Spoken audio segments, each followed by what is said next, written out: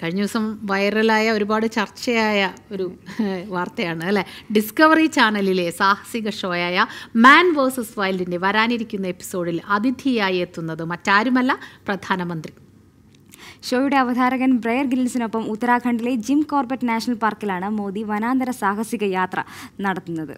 ഷോയുടെ promotion video grills ട്വിറ്ററിലൂടെ പുറത്തുവിട്ടു. ഇതാണ് വൈറലായിട്ടുള്ളത്. An ace adventurer. Who redefines the rules of survival. Unites with the leader of the world's largest democracy. Welcome to India.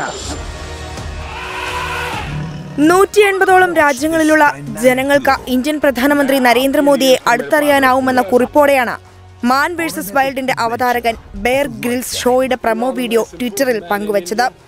മൃഗസംരക്ഷണത്തെക്കുറിച്ചും കാലാവസ്ഥാ വ്യതിയാനത്തെക്കുറിച്ചും ജനങ്ങൾക്കിടയിൽ അവബോധം സൃഷ്ടിക്കാനാണ് ഇതിലൂടെ ലക്ഷ്യമിടുന്നതെന്നും ഗ്രിൽസ് വ്യക്തമാക്കി.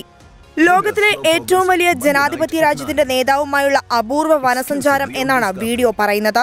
പ്രധാനമന്ത്രി കാട്ടിലൂടെ നടക്കുന്നതും മുളകൊണ്ട് ആയുധമുണ്ടാക്കുന്നതും പരമ്പരാഗത ചെങ്ങാടം തുഴയുന്നതുമെല്ലാം വീഡിയോയിൽ കാണാം.